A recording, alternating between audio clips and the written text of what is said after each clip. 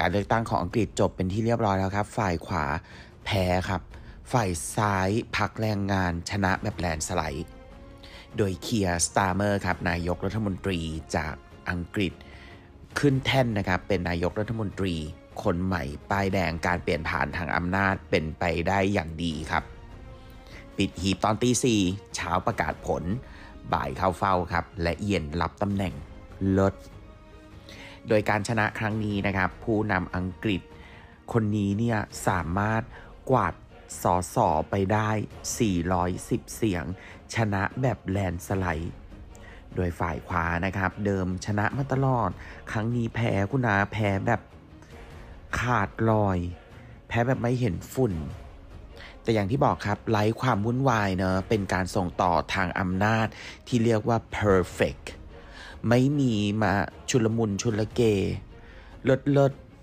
รับมงไปค่ะ จบ